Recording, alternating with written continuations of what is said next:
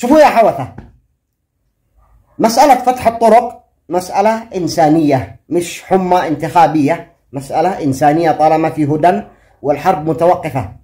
وفي عملية سلام سواء كانت وهمية أو حقيقية إلا أنه هناك جانب إنساني فتح الطرقات ومبادرات مأرب من جانب أحادي. هذه الأمور لا لا تسمى ضعفا. عد في أسود. أسود يا حوثة ورب الكعبة إن توفر فقط قرار سياسي حقيقي مستقل وقرار عسكري حقيقي أقسم بالله ما عبا تقوم لكم قائمة. لا تأخذكم العزة بالأثم. طالما في أمثال اللواء عبد الكريم عوبل السبعي فوالله لن تحكموا اليمن. حتى لو يعترف بكم العالم كله. اسمعوا ماذا قال أولا عبد الكريم عوبل السبعي قائد اللواء الثالث عروبة قائد جبهة مران الذي كنت أنا أحد جنوده ولي الفخر. في جبهة مران. اسمعوا ماذا يقول. الحمد لله والصلاة والسلام على رسول الله. الحمد لله والصلاة والسلام على رسول الله. شوف يا حودي. شوف يا حودي. أقسم لك بالله العظيم الذي لا إله إلا هو. لو يتحاور معك العالم وأولهم السعودية. أقسم لك بالله شخص لك وما أقبل حوار والله ولا لك شيء. لا تفرح بأي حاجة. أفرح بموتك. تعرف موتك؟ العاصفة والأبطال والقوات الخاصة وغيرهم وغيرهم والناس كلهم. رجال بالميدان والأيام بيننا وبيننا يوم مشرقك شوف خرجنا هنا لأجل الله لأجل ما خرجنا لأجل يقولوا فلان أو علان أو يقولوا سنة قتل على حديد أو زعطان. إحنا خرجنا لأجل واحد. فيشهد الله لو تجيب للسعودية الأرض وما فيها أتخلي عن قتالك ما أتخلي. وأني س... وأني سأكبدك المر. وأني لو يقولوا لي يبقى وإذا يشتو حوار يبدو لي راسك. والقبر حق أخوك الهالك وجميع وجميع المتحوثين أبيدهم إبادة هذا الخبر إذا يقال السعودية أما أنا أنا تقاتل بالجعبة حقي والآلي وتقاتل بسلاحك الله أكبر ومن أبو الحوثي والأبطال موجودين والله معانا وحسبنا الله ونحن الوكيل يغفر لنا ذنوبنا واسرافنا في امرنا وثبت اقدامنا وانصر على الكافرين والابطال هم بالميدان والايام بالله عليكم يا حوثة بالله عليكم. تريدوا أن تأخذكم العزة بالإثم وتتجاهلوا؟ إن في رجال صادقين على الأرض.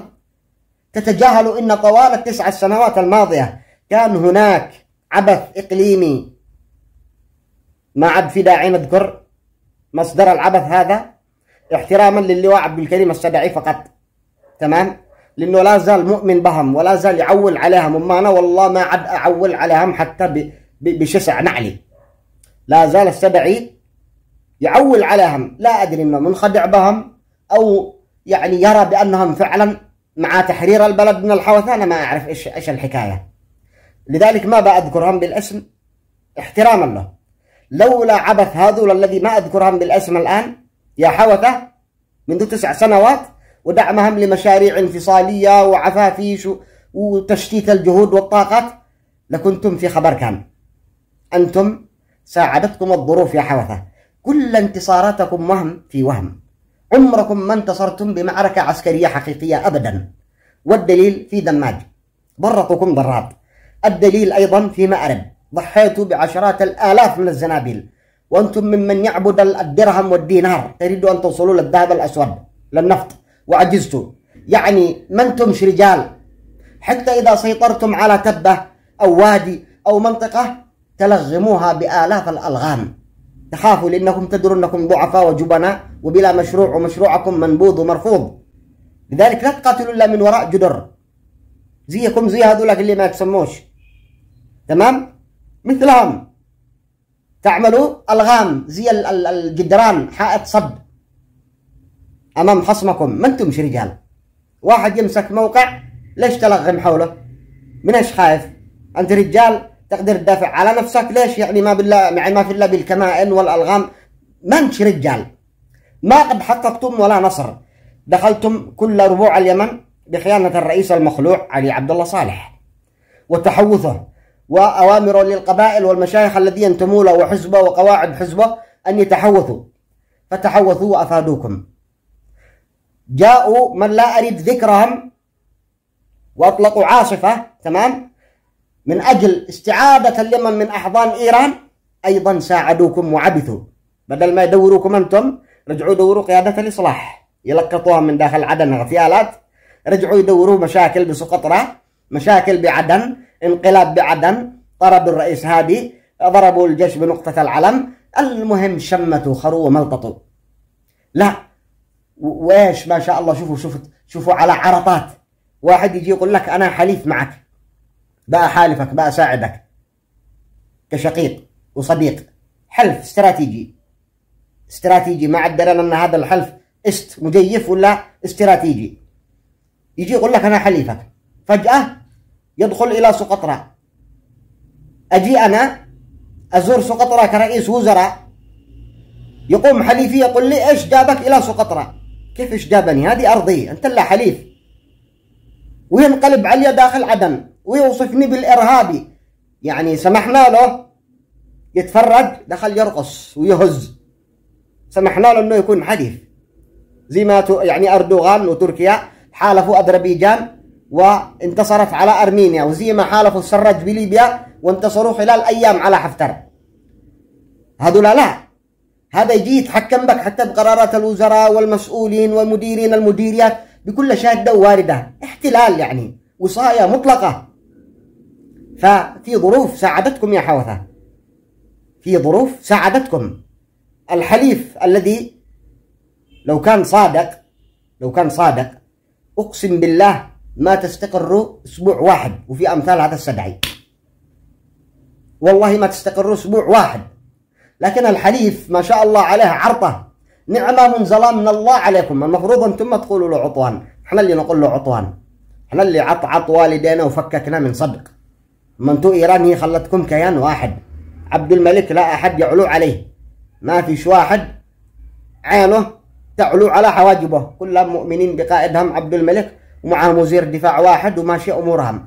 ما إحنا حليفنا ما شاء الله عرطة يجي يعني يشارعك على كل شاردة وواردة مبهرر. يجي يقول لك أنا حليف ويدخل لي بهرر. يجي يقول لك أنا جاي جاي إلا بس أتفرج. أعاونك من بعيد وفجأة يدخل يرقص. يرقص وقاده يشتي يقصي الحزب الفلاني ويمكن الحزب الفلاني ويشتي يرفض هذا وما يقبل هذا. ها حتى بن ما تحملوا جزعوه لأنه الشيء شغل محطة بالحاف. شايفين على تحالف. است مجيف مدري است استراتيجي. هذا هو التحالف. أنا أذكر تحالف ما أذكر اسم دول. ما أذكر اسم دول. حتى تكونوا في الصورة حتى الفندم عبد الكريم السبعي إذا وصل له الفيديو ما يزعل. لكوني أنا كنت أحد جنوده فيما مضى قبل أربع سنوات. في جبهة مران عند رأس الأفعى عقبة مران وكر القواد اللقيط عبد الملك البوتي. أنا صراحة يا جماعة ما أقدر أجامل. ما أقدر إلا أقول الحق. أنتم يا حوثة أجالكم التحالف نعمة منزلة من الله. نصركم نصرا مؤزرا وما حافظ عليها اليمنيين من أرض. حتى الآن بعيد عن دنسكم يا حوثة. والله لا يعود الفضل إلا على دماء اليمنيين. أما الحلفاء الاستراتيجيين ما قصروا انقلابات ومشاكل. عاملين إلا حروب بينية وقد عملوا لنا عشرة تمردات. عشر ملي... عشرات الميليشيات. كل واحد في فلك يسبح. شتتوا الجهود والطاقات. وسموا الجيش الوطني إخوان شمتوا خروا وملططوا. خروا على كل المذاهب. ما قصروا. ما شاء الله. شكر الله سعيهم. يا ليتهم يرفعوا أيديهم ورب الكعبة أن تكون نهاية الحوثيين. وفي أمثال هذا السدعي الذي مستعد يقاتل بأتفه الإمكانيات وكان يغزو للحوثة إلى داخل مواقعهم. قد الأفراد والأركان تقولوا له ارجع لك يا حاج ارجع خلف. نحتاجك أنت تتواصل مع القيادات العليا مع ال... ويدخل إلى الجبهة. يدخل للجبهة لله دره. ولله در البطن الذي أنجبته. هذا الرجل صندي تجرب حتى من حزبيته. على أساس كان محسوب على الإصلاح ألقى حزبيته هذه تحت أقدامه وخلاص أصبح عنده لا عدو إلا الحوثي معركته معركة وطن ودين وعقيدة. هذا اللي هو عبد الكريم. هذا الرجل الصادق. صادق فعلا. فأقول لله دره وتعظيم سلام له ولكل الأبطال أمثاله. الذين مستعدين أن يحاربوا الحوثيين حتى لو اعترف بهم العالم كله. تحياتي لكم.